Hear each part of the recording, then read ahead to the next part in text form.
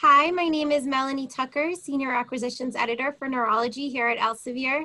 I am delighted to be interviewing Dr. David Preston of Case Western Reserve University in Cleveland, Ohio today to discuss the newly published fourth edition of his book, Electromyography and Neuromuscular Disorders.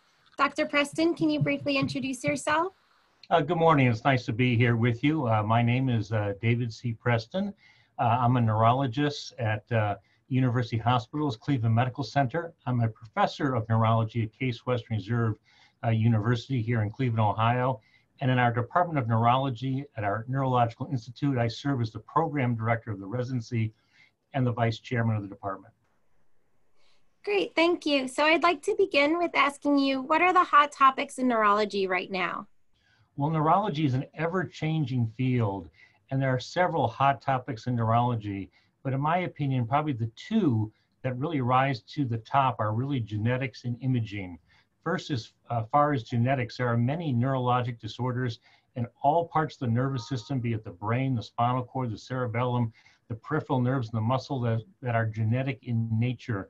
And we've known about the genetics for many, many years, but now the genetics are really getting figured out to exactly what the gene is, what the protein is, and maybe how to combat it by either uh, fixing the gene, stopping the gene product, and now there is now more widespread testing of genetic disorders and very excitingly, treatment for genetic disorders. And many of these are actually in neuromuscular, that's peripheral nerve and muscle. The other aspect, which is very hot in that is of imaging. Obviously, imaging has revolutionized neurology over the past several decades. It started with the introduction of the CT scanner back in the 1970s that, that finally allowed us to look inside the nervous system and then supplemented by MRI scan in the 1980s, which has now become standard for so many things in the nervous system. However, MRI scan is predominantly used for the central nervous system, that's brain and spinal cord. There are some MRI techniques to look at muscle. There are some more sophisticated techniques to look at peripheral nerve, but these are only used at actually certain centers. However, an additional imaging modality is that of ultrasound, which is now being used, especially in the peripheral nervous system, to look at uh, peripheral nerves and muscles, which now have dramatically increased our ability to help diagnose and treat patients with various nerve and muscle disorders. Great, thank you. So can you tell us about the newest edition of electromyography and neuromuscular disorders? Uh, certainly. So this is the fourth edition of the book. The book was meant to be a basic primer on neuromuscular disorders and uh, performing EMG and nerve conduction studies. And of course, a lot of the basics have not changed. However, this fourth edition did allow us to uh, systematically review the literature over the past five, six, seven years and, that, and add new information that's available as far as various nerve and muscle disorders. Uh, some are brand new conditions, some have now been figured out. In addition, we've always been big believers that pictures are worth a thousand words. Uh, the uh, other uh, textbooks always had lots of figures and diagrams. We've actually increased the number of figures and diagrams uh, in this book to even make it more readable. However, in the last edition, one of the major uh, improvements of the third edition is that we included cross-sectional anatomy. And that was cross-sectional anatomy for doing mostly uh, needle EMG. This was so important to be able to think in three dimensions. So you knew how to place the needle in the muscle correctly, but also more importantly, what was nearby, what you needed to avoid, other nerves and muscles and uh, blood vessels. Well, that really foreshadowed the fourth edition in, in that that we have now included uh, neuromuscular ultrasound as a substantial part of the book.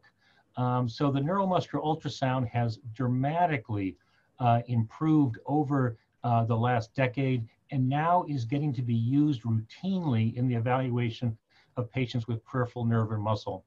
We have three new chapters in the book on uh, ultrasound. One is an overview of ultrasound. The second one is on uh, the evaluation of mononeuropathies, that's individual nerves, say like median nerve at the wrist, carpal tunnel, ulnar neuropathy, the elbow, uh, peroneal neuropathy at the, uh, at the knee. And then a third chapter on the usefulness of ultrasound uh, in regards to the evaluation of motor neuron disease, uh, peripheral neuropathies, and myopathy. Then, of course, in, similar to the, the, previous editions of the book, there are many clinical chapters that march through uh, various different diagnoses.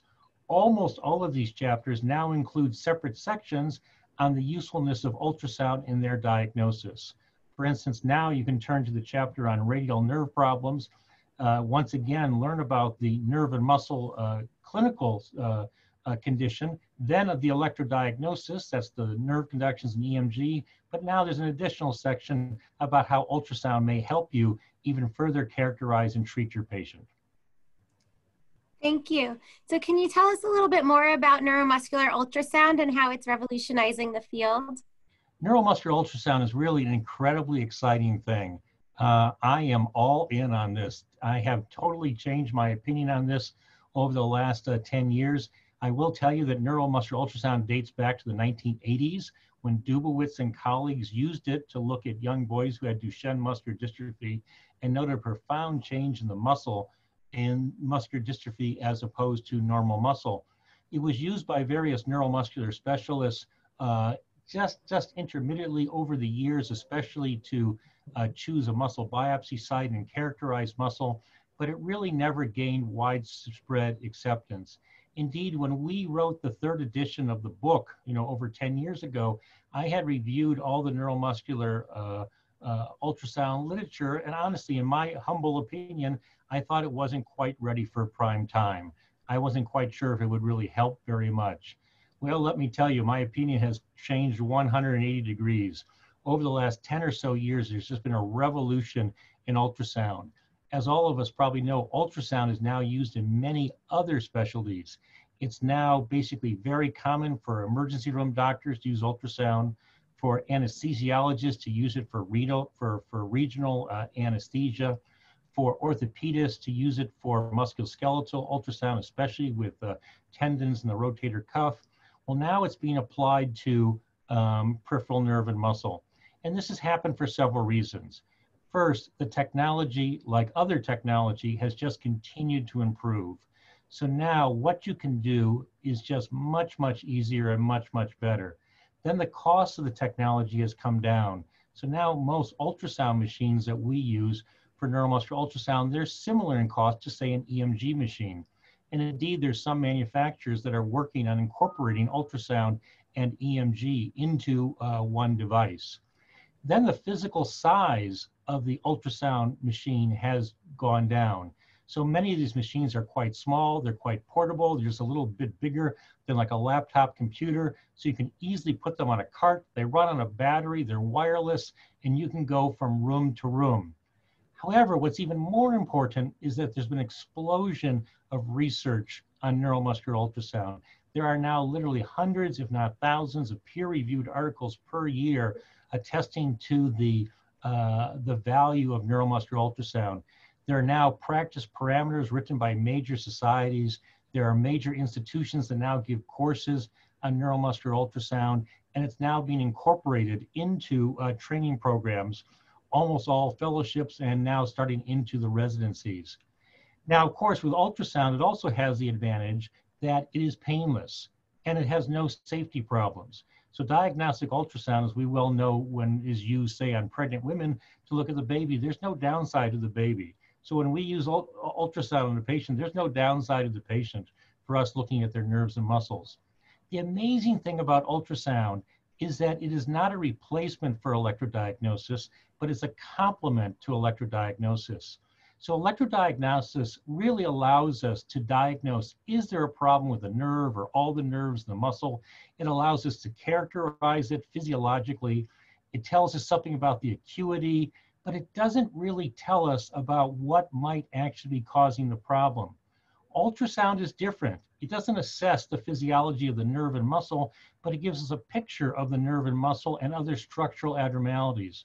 So for instance, a patient could come to us and says, Doc, you know, my thumb, my index, and my middle finger, they're falling asleep and going numb, and my hand is really hurting. And every night I'm waking up and I'm shaking it out, and it's really bothering me. And you very quickly come to the clinical diagnosis that this person probably has carpal tunnel syndrome, and you're correct.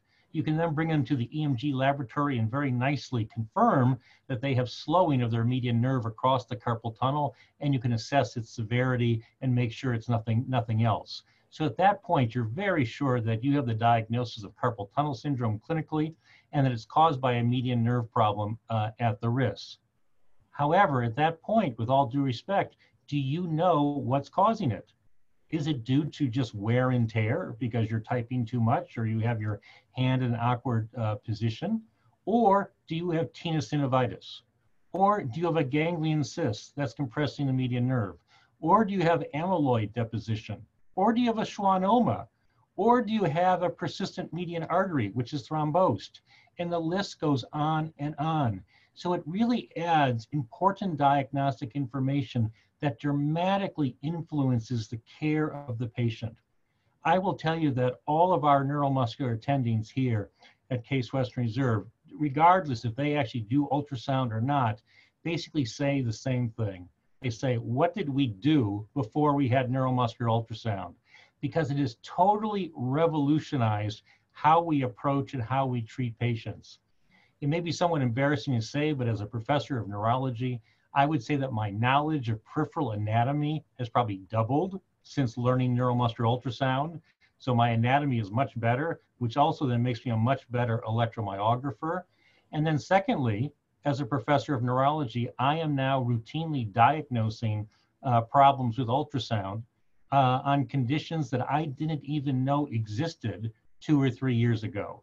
So it really has revolutionized uh, the care of our patients. Um, now, is, is it the key to the case in every patient? No, it is it's absolutely not.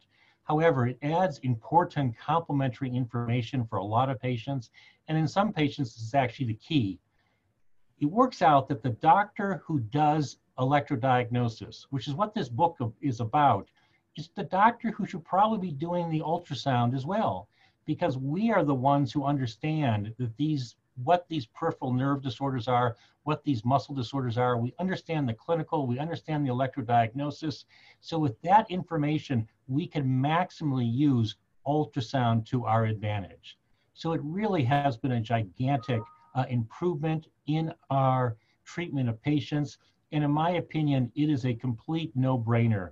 The use of ultrasound is just going to continue, continue to grow and improve uh, as time goes by. And it's going to be a common part of every single electrodiagnostic lab uh, in the future, in my opinion. Thank you so much for taking the time to tell us more about the game-changing neuromuscular ultrasound and the, about the new fourth edition of your book, Electromyography and Neuromuscular Disorders. We'll be offering a couple of chapters free of charge for a limited time, so be, be sure to check them out. Thank you so much, Dr. Preston, for taking the time to speak with us. Thank you.